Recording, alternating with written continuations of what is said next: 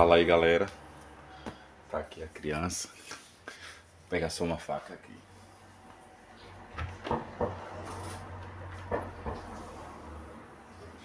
Abrir ela aqui em primeira mão. Bom, primeiro aqui as informações que tem aqui, né? As funções que ela tem, algumas delas, as principais. Clonagem de amplificador e pedais, conexão Wi-Fi, conexão à nuvem da Red Rush, Red Rush Cloud. Uh, tem um streaming é, online também.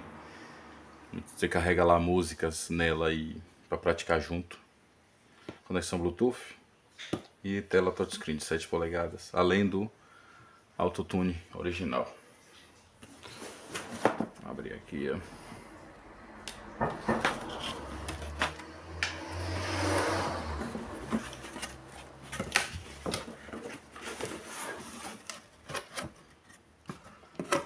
temos os manuais aqui de lado.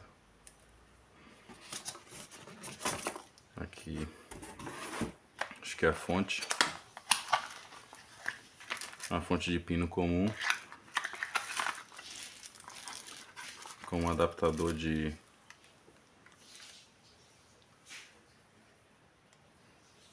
doze volts. É bom que é comum de achar e a conexão dele também é bem, bem comum de achar. Aqui é a fonte, a gente vai usar ela já. Tem aqui cabo USB, conexão, uma interface. Vou tirar aqui.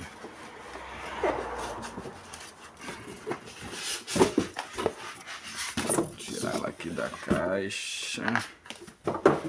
Tarará. Tarará, tarará. Aqui fica aqui. E...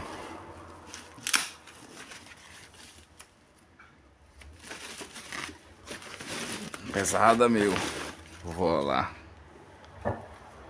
Aqui está a criança. Tá refletindo minha barba aí. Está ela. Bom, basicamente aqui 5 foot suites todos personalizáveis. É... Depois eu vou mexer para ver que, como é que funciona melhor, mas cada foot switch, a depender da função, acho que em modo stomp carrega, carrega duas cenas, ou seja, dois presets em cada foot switch. Então, a, a, a depender da, do modo de operação, em vez de 5 eu tenho 10. Mas enfim, volume geral, volume de fones, e aqui é um menu de configurações dela para um acesso mais rápido. As conexões. Microfone, entrada microfone P10 e XLR com controle de volume dedicado.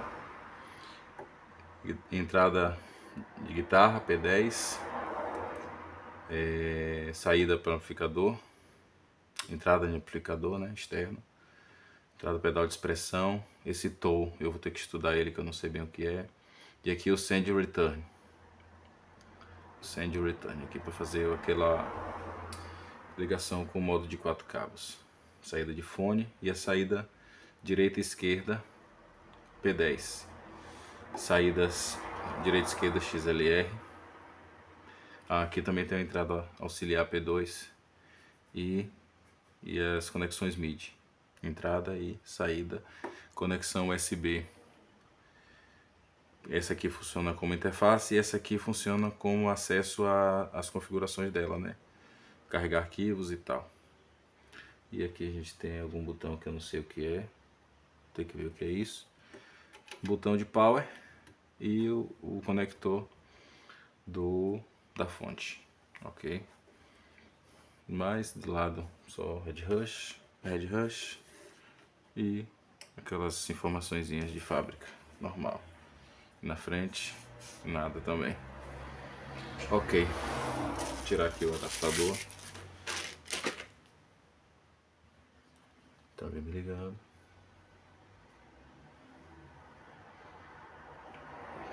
Vou dar uma pausa aqui para achar o adaptador.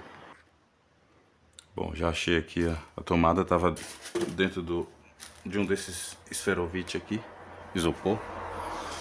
Já tá ligado, vamos lá.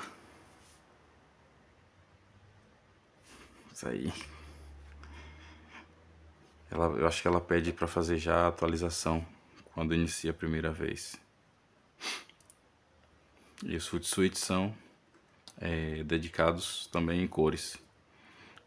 Pode configurar cada um a cor a depender do, do efeito que vai usar, né? Acho que deu para ver piscar aí. Aqui, let's go. Parabéns por adquirir a sua Red Rush Core, conecte Wi-Fi e faça o download do último update. Ok, vamos lá. Ah, vou conectar aqui o Wi-Fi, deixa eu só ver a senha. Qual é?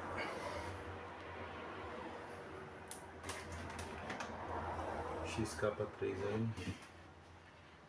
XK3.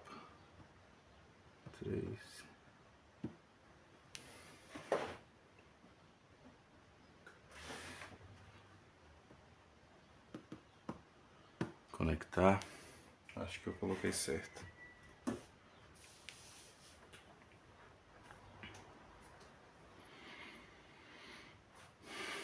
Ok, uma nova versão de firmware, uma nova atualização de, de firmware está disponível. Tal, tal, tal.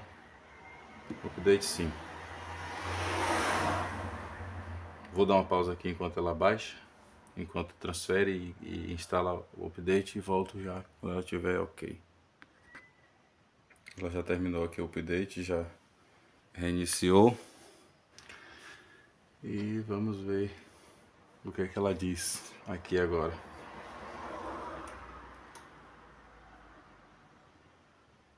Pelo que eu percebi, ela tem um, um cooler interno. Ele liga e desliga, a depender da situação, é o que parece. Pronto. Tá aqui. Tá aqui. Ele mostra ali a CPU, o uso de CPU. Tá usando 70% agora. Tem aqui algumas funções que eu não sei ainda o que é. Vou ter que descobrir. Isso aqui é para salvar o, o preset. Aqui é a lista de presets, né? Ok. E aqui o menu. Cara, aqui tem muita coisa. Tem mesmo muita coisa nesse menu. Aqui um setlist, o setlist que é que eu posso criar meus setlists aqui de, de efeitos. Aqui eu abri o setlist que tem aqui configurado já de fábrica para guitarra. Pronto. Tem para voz guitarra e voz, que ele usa tanto a entrada de microfone como para voz, para guitarra aqui usa as duas saídas. A gente pode escolher a saída que a gente quer para cada um. E tem muitas coisas, tem o afinador, a, a função de clonagem de amplificador é uma mão de obra, mas é, é muito interessante isso, eu vou testar.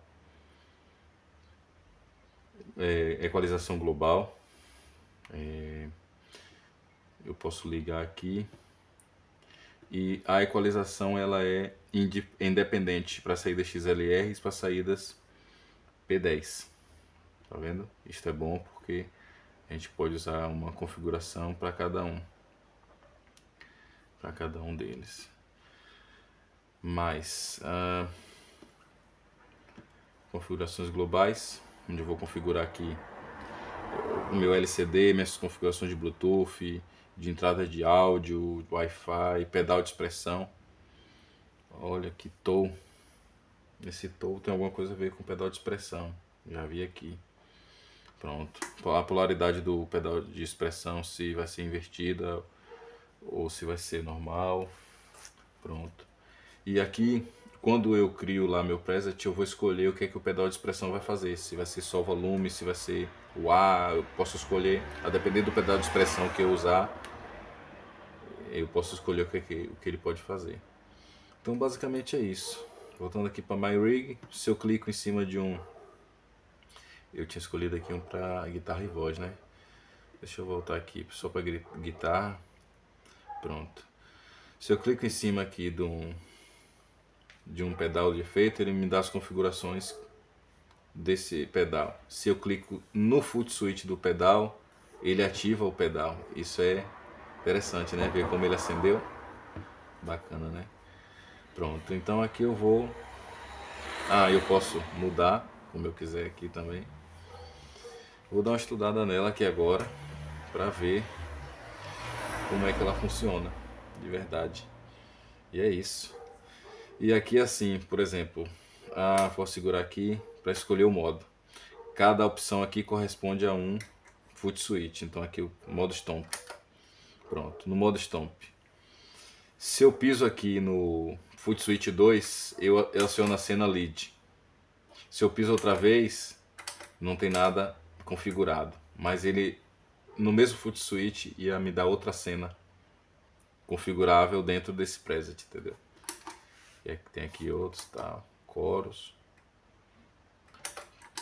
Eu posso ir escolhendo de acordo com o que eu quero aqui. Isso é bastante interessante. Pronto, é isso. Agora é estudar ela e ver como é que funciona tudo. Já vou conectar a minha Red Rush Cloud aqui para ver se eu consigo pegar alguns presets lá da galera. E pronto. É isso. Tá na mão.